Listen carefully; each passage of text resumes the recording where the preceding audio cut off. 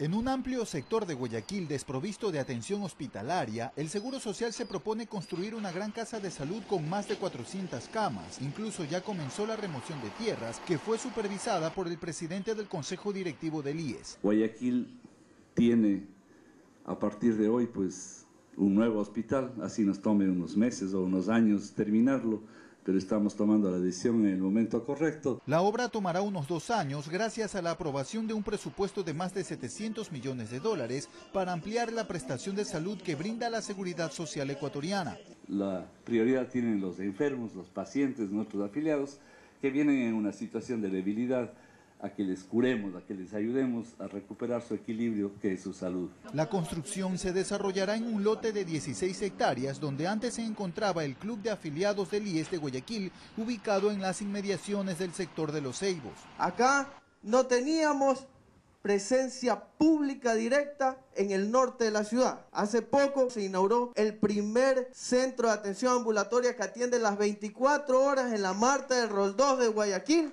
para atender a más de 300.000 afiliados ubicados. De esta forma no solo se antepone el interés de los afiliados por obtener un mejor y oportuno servicio de salud, sino también acelerar el acceso a otros servicios como los préstamos quirografarios y obtención de claves. Gustavo Espinosa, Ecuador TV.